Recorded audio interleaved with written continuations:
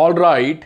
So in continuation with our cancer series and in our playlist now we are going to discuss one of the most commonly present and very important type of the cancer. That is the breast cancer which is commonly present in females but can also affect males now, what are the sign and symptoms? If we discuss sign and symptoms of the breast cancer, then first is the lump formation.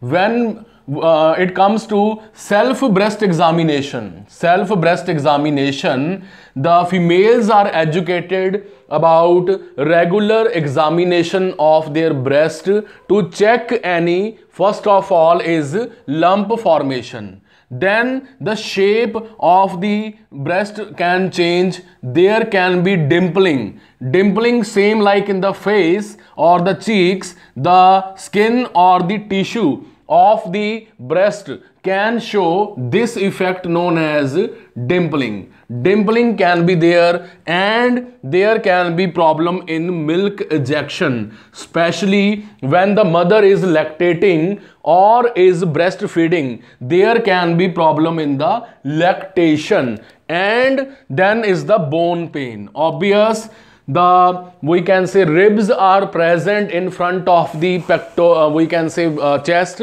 and pectoral muscle is present over here which is supported by Cooper's ligament Cooper's ligament and bones are present. So metastasis of the breast cancer can affect ribs intercostal muscles which can cause bone pain. Then a lot of lymph nodes are present in the breast area in the females for drainage of the lymphatic fluid. Therefore there can be uh, we can say swelling of the lymph nodes. Lymph adenopathy can be there. Dyspnea as i told the rib pain intercostal muscles will be affected. There will be lump formation. Excessive metastasis over the breast area can cause dyspnea also. Difficulty in breathing pattern. So the metastasis can be present due to lymph nodes. Lymph nodes uh, uh, there is a very rich blood supply in the breast and lymph nodes are there. So the metastasis can also proceed towards the liver. As uh, imagine that in females uh, under the breast diaphragm is present and liver is present. So hepatic cancer liver cancer or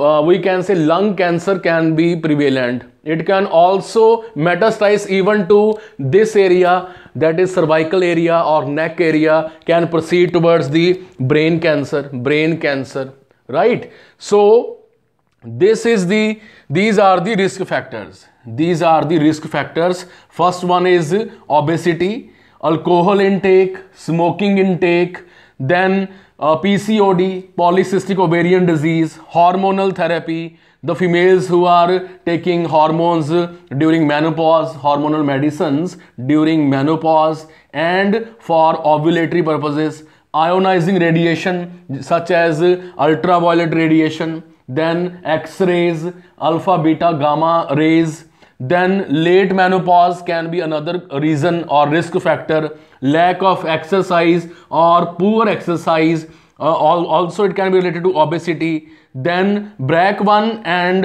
BRCA and P53 very very important our gene mutation P53 oncogenes and tumor suppressive genes the breaks. P53 fails leading to excessive proliferation in the breast of the different kind of cells such as for example when we talk about type it can be covered under types. Ductal carcinoma can be there. So what is basically ductal carcinoma? You know in the breast that there are ducts which help in ejection of milk during our that is suckling effect or breastfeeding. There can be ductal carcinoma ductal carcinoma. Lobular carcinoma is present in the lob, uh, we can say lobular, this area, lobular area, where the milk formation is present in the mammary glands. So, lobular carcinoma, ductal carcinoma and Paget's disease. Paget's disease can also be associated with the breast cancer. Paget's disease. So, now the diagnosis. Diagnosis generally include First one is fine needle aspiration cytology or biopsy. Fine needle aspiration or biopsy uh, can be done by the doctors to check the presence of breast cancer. Then self breast examination. I had made a uh, separate video on this topic self breast examination in which the females are told to check their breast during uh, bathing or bathing uh, every month on same date in order to assess for any lump formation, any dimpling, any firmness uh, on the particular side of the breast. So all these things are educated or told to the female, especially the adolescent group and school going children or females in the, the, the highest uh, we can classes for the uh, early assessment or screening of the breast cancer. Then is the uh, excisional biopsy. Uh, excisional biopsy generally covers complete extraction or of the tumor from the breast for study purposes, morphological studies and removal. Then is the mammography or the mammograph which generally covers the breast cancer studies. Breast cancer studies Sign and symptoms also include bloody discharge, blood of, uh, we can say discharge filled with blood from the uh, nipple area and there can be eczema. Yes, what is eczema? For example, this is the nipple area and uh, this is the areola area, nipple area and in the nipple area there is like this kind of eczema. Redness is present. This is known as Paget's disease. This is known as Paget's disease. Paget's disease. So what comes under the TNM mechanism or TNM diagnosis? So in the TNM grading or staging system, the T stands for tumor, uh, uh, uh assessment of the tumor size by the mammography or CT scan, and size stands for lymph node, M stands for metastasis. How much the metastasis had occurred, how much prominent is this. So early detection depends upon these kinds of thing T and M, tumor, lymph nodes and then is the metastasis. So all these things uh, are focusing on the early assessment. So now the stages of breast cancer.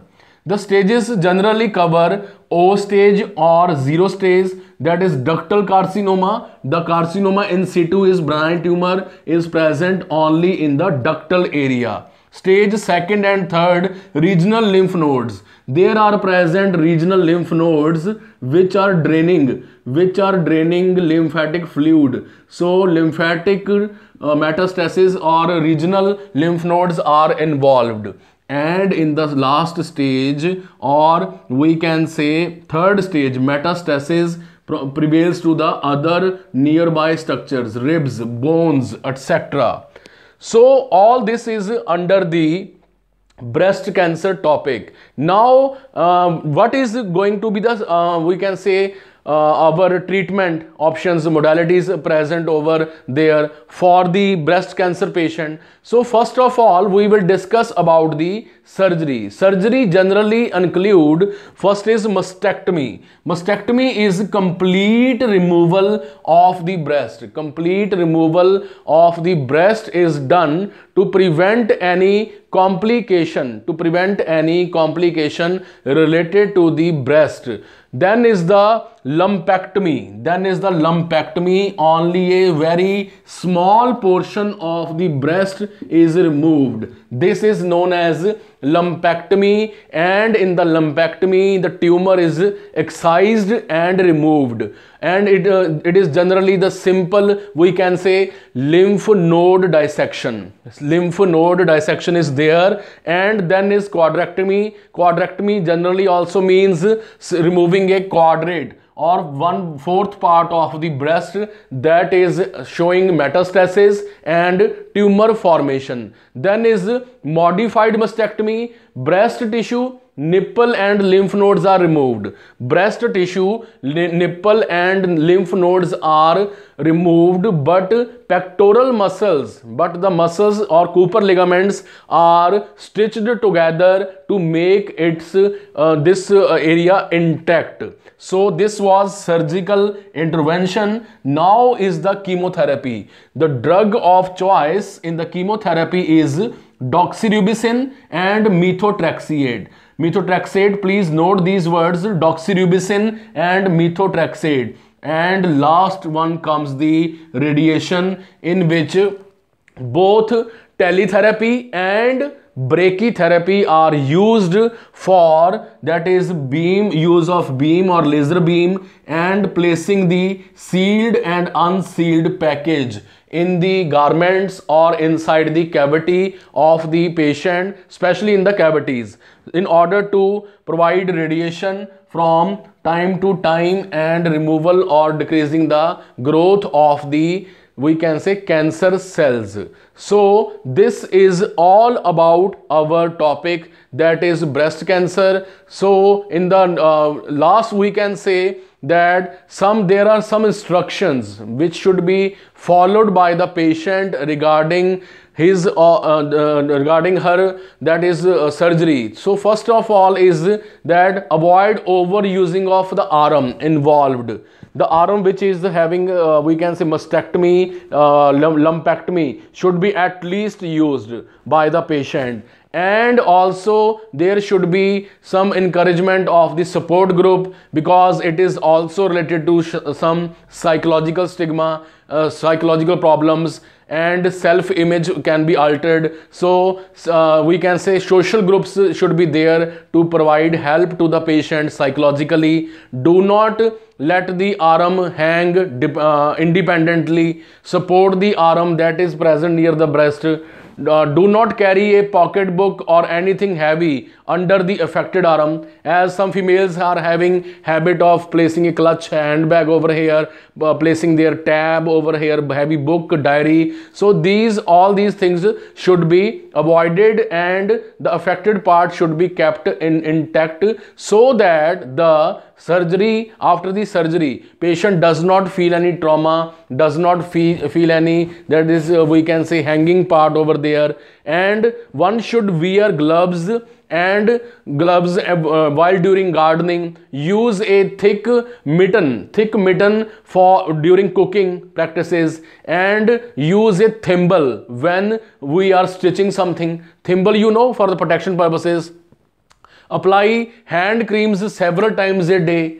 hand creams should be uh, should be applied over the uh, that is uh, over our hands several times a day. And in case of any inflammation at the site it should be immediately reported to the health care provider. So i hope this short video might had proved useful which had covered all the aspects related to the breast cancer. So thank you for watching this video. Keep supporting and keep subscribing Driving.